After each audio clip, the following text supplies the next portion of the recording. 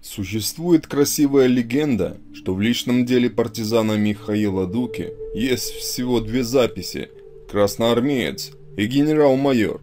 Рассказывают, что в сентябре 1942 года он вошел в кабинет Сталина для доклада в ранге обычного командира партизанского отряда, а вышел уже генералом.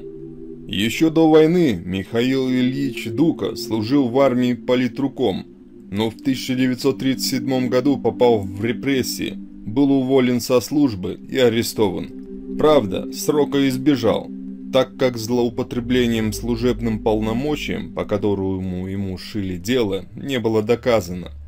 После освобождения весной 1938 года на военную службу Дука не вернулся и некоторое время работал на Брянском мясокомбинате. Первый день войны Михаил добровольцем отправился на фронт, правда, до него не добрался. Его назначили руководить эвакуацией промышленным предприятием Брянска – После была короткая служба в городском истребительном батальоне, а в августе, пройдя предварительное обучение в школе разведки под руководством Ильи Старинова, Дукка был зачислен в партизанский отряд и отправлен в тыл противника для разведки и проведения диверсии. С Брянским партизанским отрядом, а позже бригадой имени Кравцова, Дука и наводил шороху во вражеских тылах.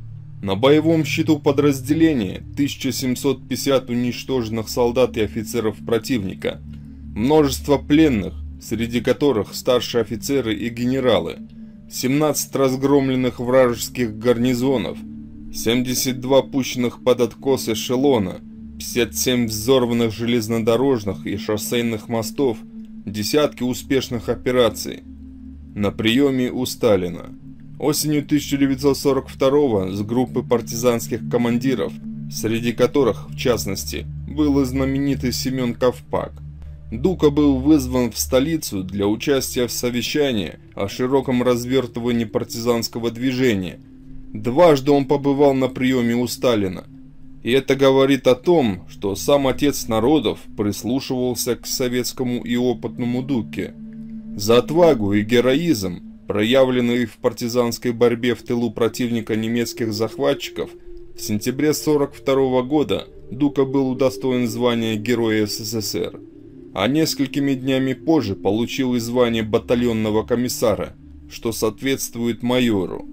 Второй раз в Москву Михаил был вызван с середины сентября 43 года. За прошедший год на его счету было немало успешных операций.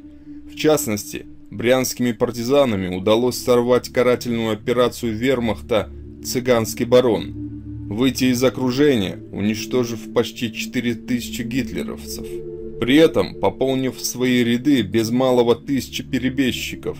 За это, а также за то, что своими диверсиями за несколько месяцев парализовал ЖД-движение вермахта на брянском направлении, Дука получил звание генерал-майора – Видимо, тут и вышла некая путаница. Два вызова в Москву, оба в сентябре 42 и 43 года, оба с награждениями и повышениями в звании. Да и сами звания майор и генерал-майор, неопытный человек, не знаком с армейскими регалиями, вполне мог бы перепутать. А дальше и разнеслась по интернету. Впрочем, от майора до генерал-майора все же на самом деле немалый путь как и от красноармейца до майора. Так что эта неточность нисколько не принижает достоинства Михаила Ильича. В 1944 году он был переведен командующим в РКК. Отличился при форсировании реки Шперре. На Московском параде Победы 24 июня 1945 года именно Дукка нес символические ключи от поверженного Берлина.